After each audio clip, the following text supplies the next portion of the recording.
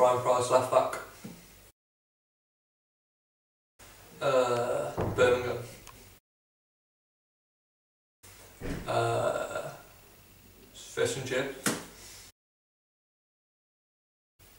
Uh, don't know what I've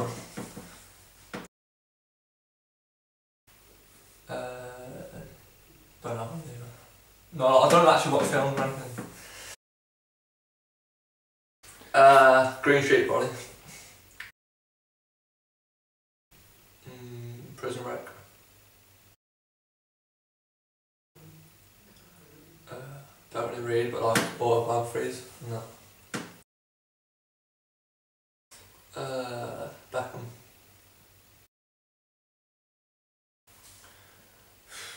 Uh, don't know. I ain't got a car, so.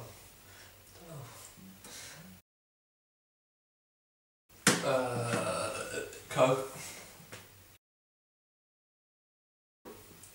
Michelle Keegan. Uh, Spain.